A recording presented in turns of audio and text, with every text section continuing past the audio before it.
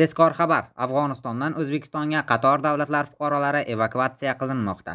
Germaniya Mudofaa vazirligi Airbus A400M samolyoti nemis va afg'on fuqarolarini, shuningdek, Yevroittifoqning qator davlatlari fuqarolarini Qobul aeroportidan evakuatsiya qilindi. Bu haqda Germaniya O'zbekistondagi elchixonasi matbuot xizmati xabar berdi.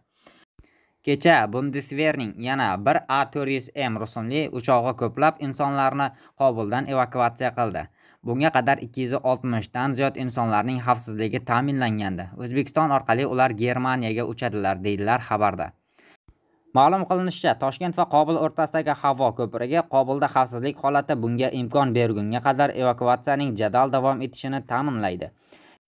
Eslatib o'tamiz, O'zbekiston Prezidenti Shavkat Mirziyoyev 17-avgust kuni Germaniya Federativ Respublikasi Prezidenti frank vater Shtaynmayer bilan telefon orqali muloqot qildi. Suhbat davomida Afg'onistondan Germaniya fuqarolarini evakuatsiya qilish masalalari bo'yicha hamkorlik ham davom etishini qayd etgan.